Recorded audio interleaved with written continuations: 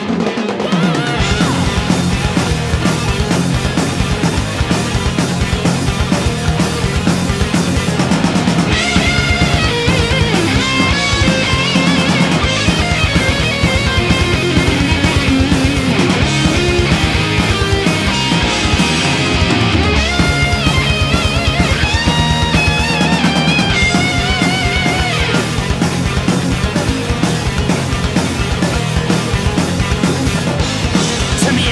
to loose.